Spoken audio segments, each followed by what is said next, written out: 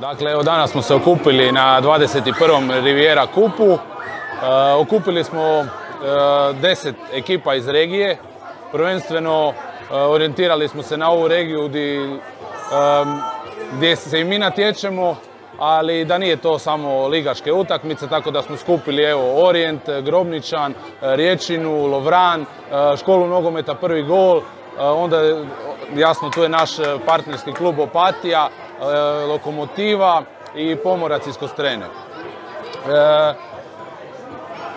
Dakle, uzrast je u 11 ili što bi ovako u ostalom žargonu rekli stari, stari morčići.